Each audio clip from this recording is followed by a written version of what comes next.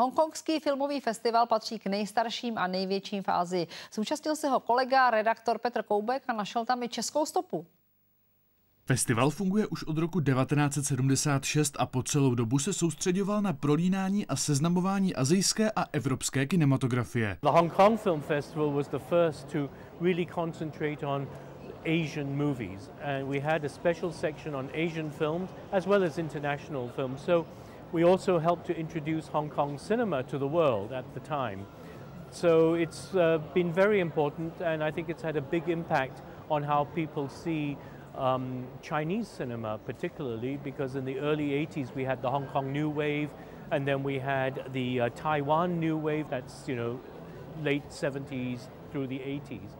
So I would say that we've had quite a big impact on the cinema of the region and also globally. Festival se tradičně otevřel premiérami hongkongských filmů. Letos to byl snímek Aberdeen režiséra Ho Cheng Panga a film Půlnoc poté režiséra Fruita Chana. Festival ale uvádí filmy z 56 zemí z celého světa. For our audiences, they are of course very enthusiastic about Chinese language films. Um, but at the same time, they also like um, European art movies. We also concentrate a lot on bringing films to Hong Kong audiences that they wouldn't otherwise have a really good chance of seeing. So this year we actually have a section, for example, on Czech cinema. Sekce se jmenuje Desetiletí na cestě ke svobodě, poválečná historie očima současné české kinematografie. This program consists of eight films, so it really goes before and after communism. It really tells, it tells the whole post-war history of uh, Czechoslovakia and then into the Czech Republic. So rather than being just about communism, only communism, it's really about the vicissitudes of different regimes and how people cope, adapt, collaborate, Diváci tu tak můžou vidět současné filmy zastupující každé desetiletí české historie od válečného protektora přes například Hořící keř a pouta z dob komunismu až po divoká 90. léta ve filmu Checkmate Man a současnost ve filmu Líbánky. It's not just the Czech experience, but it's seeing history bef change before your eyes, seeing how people dress, how people act, uh, you know, how people, how a whole city looks different cities look different decade by decade.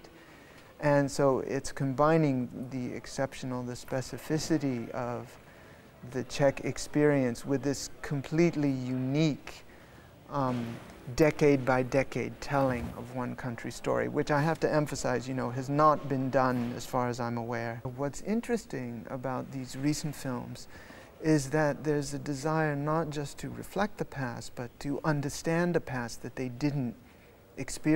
Sekce se bude hrát hned dvakrát, jednou na festivalu a pak ještě po něm v místních kinech. Vždycky s odborným úvodem a moderovanou diskusí. Festival se uzavře 7. dubna filmem hongkongského režiséra Dante Lama. Jeho název by se dal přeložit asi jako Ten démon uvnitř a je to akční thriller, což tak trochu symbolicky odkazuje k žánru, který hongkongskou kinematografii proslavil a žánru, který začíná dominovat dnes, tedy kung fu filmům a hororu. Petr Koubek, Česká televize, Hongkong.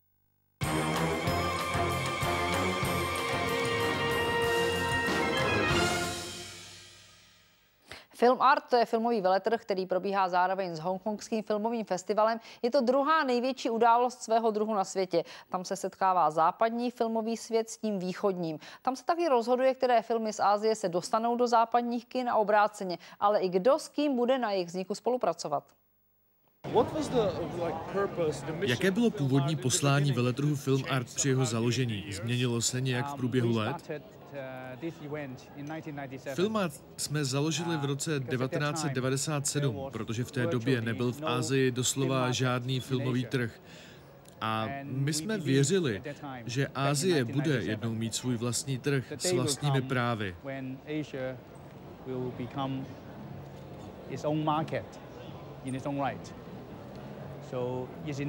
V té době bylo samozřejmě prostředí filmového průmyslu úplně jiné. Dominovaly mu trhy v Evropě a ve Spojených státech. It was dominated by markets in Europe and in the US.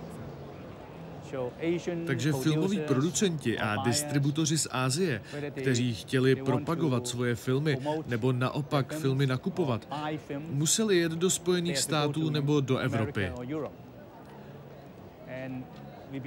A my jsme věřili, že si Ázie zaslouží svůj vlastní trh, takže s touhle vírou jsme Film Art založili. Na začátku to bylo hodně skromné, bylo tu jenom 75 vystavovatelů. Dneska jsme víc než desetkrát větší. Letos máme přes 770 vystavovatelů, což znamená, že jsme největší v Ázii a druzí největší v na světě.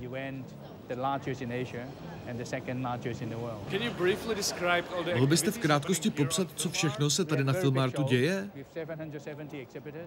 Jak jsem říkal, letos je to opravdu velké. Přes 770 vystavovatelů, přes 6,5 tisíce návštěvníků z celého světa. Kromě samotného veletrhu tu máme víc než 400 projekcí, z nich 80 jsou světové nebo azijské premiéry. Máme tu také 70 seminářů a konferencí, na kterých se probírají nejnovější trendy ve filmovém a televizním průmyslu. Uh,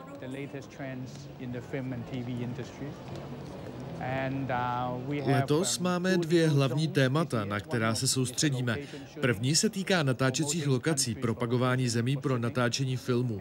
A to druhé je o krátkých filmech, mikrofilmech, které jsou čím dál populárnější v Číně a patrně i po celém světě. Čínská televize je v posledních letech na obrovském vzestupu. V západním světě můžeme pozorovat, že spousta talentů utíká od filmu k televizi, takže seriály začínají být čím dál víc filmové. Jak je to v Číně? Je tenhle trend podobný?